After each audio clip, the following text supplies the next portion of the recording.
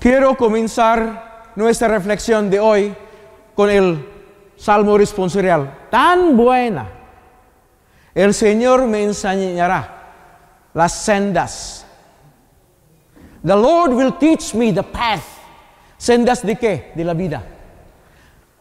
Las sendas de la vida. El camino de la vida.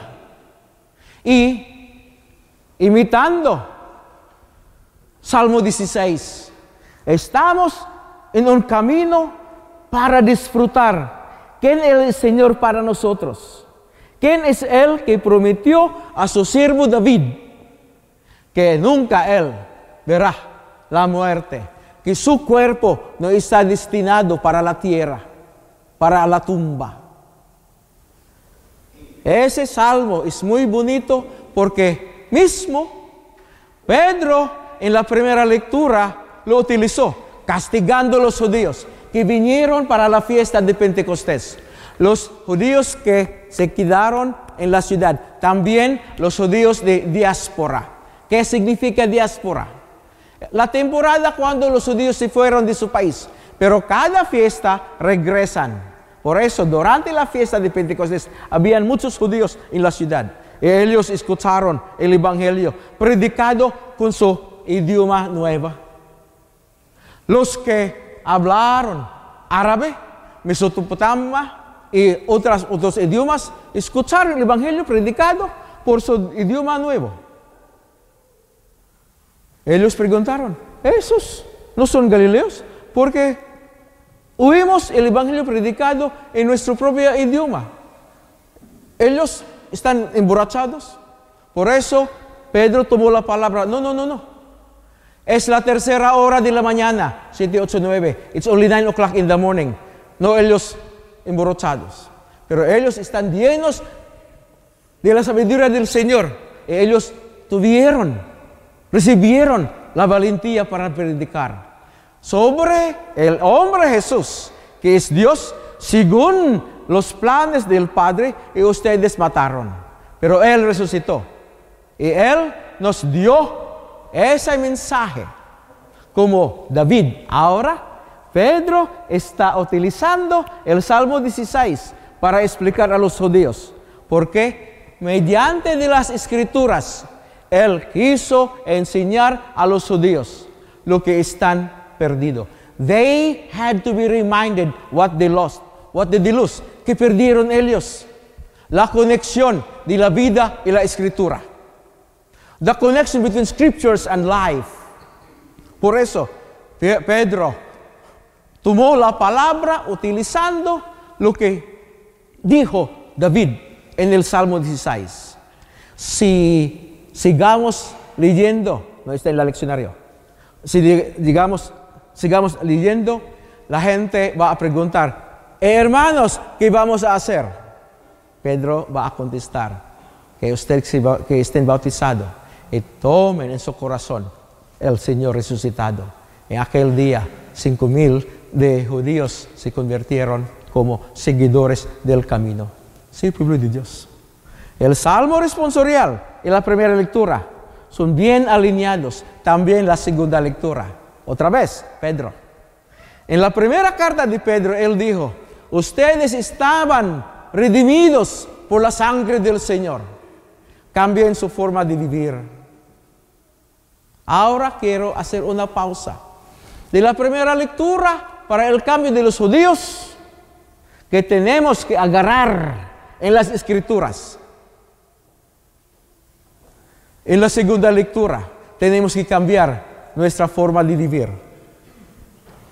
Un arrepentimiento, no hay cuerpo, no hay hueso, cuando no hay cambio de la vida. Repentance has no soul, no flesh, no bones, if there is no change in our lives.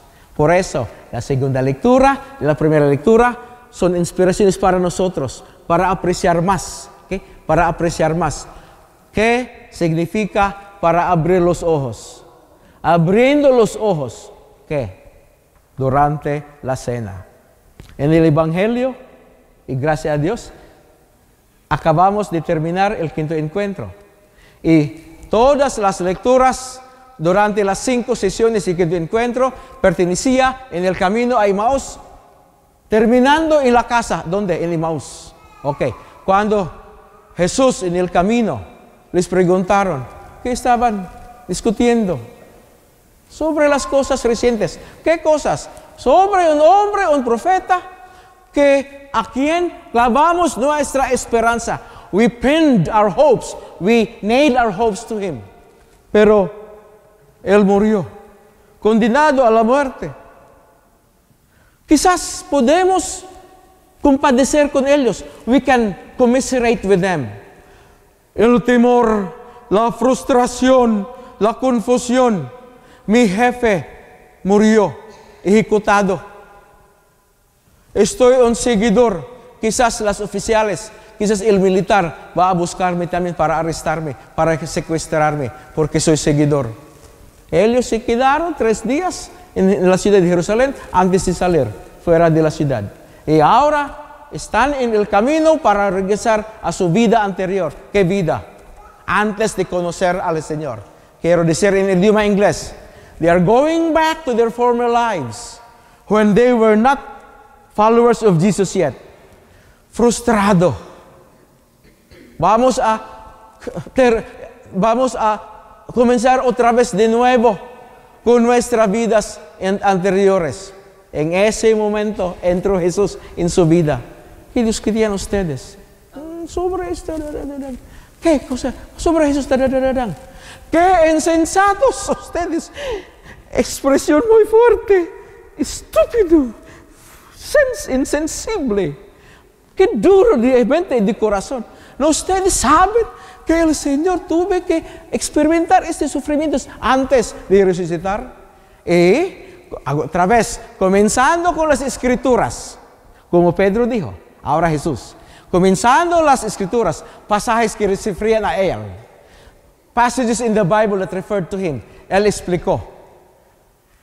Llegaron al sitio donde se fueron y como si fuera él va a seguir adelante, ellos dijeron, quédate con nosotros. Stay with us. Un pedido, un request tan bueno. ¿Ustedes recuerdan la última parte de la sesión quinta de, de, de encuentro, encuentro? Quédate con nosotros, Señor. Stay with us, Lord, in this early evening. No queremos vivir en la oscuridad. No queremos vivir en las tinieblas. Quédate con nosotros, Señor. Y el anfitrión se convirtió visita. El visita se convirtió anfitrión. The host became the guest. The guest became the host. Él tomó la posición como director de la cena. Él tomó la posición como jefe de la casa, pero era, era visita, no jefe de la casa. Al partir del pan, abrieron los ojos. ¡Ah! el Señor se desapareció. Enseguida corrieron 11 kilómetros otra vez a la ciudad para compartir la buena nueva. El Señor está resucitado. Y vimos, hemos visto, hemos visto. Mientras estaba contando, el Señor apareció otra vez. Sí, en la asamblea.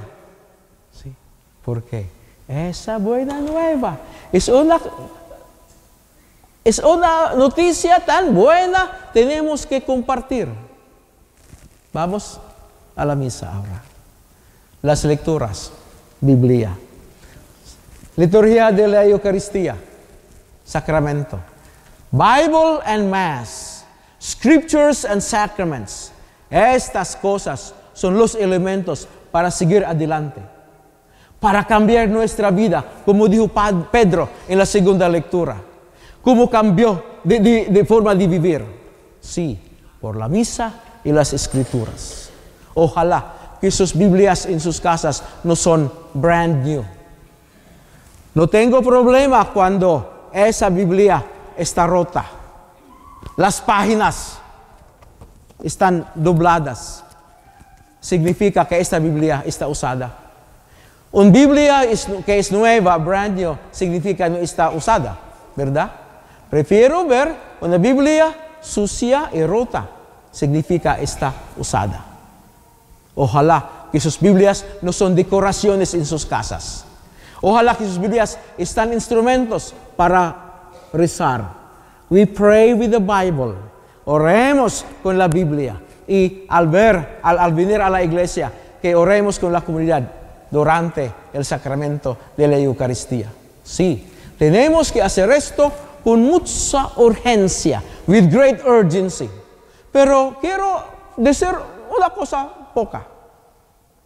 Para hacer esto con mucha urgencia, no significa que después de la comunión que salgamos, no. Estoy triste cuando durante los anuncios se, se, se, se vayan, salen la gente. La causa del uh, tráfico en el parqueo no es causada por los que vinieron temprano o los que salieron tarde, no, no. La causa es la, la falta de paciencia. Sí, vamos a quedar aquí. Let us stay here until the last blessing. No después de la comunión. Vamos a escuchar the post-communion prayer, la oración después de la comunión. También los anuncios antes de la bendición.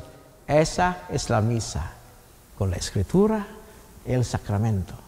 Esa es la buena nueva que llevamos a nuestras familias. Esa es la buena nueva que es elemento para nuestro cambio de vivir. Que Dios le bendiga.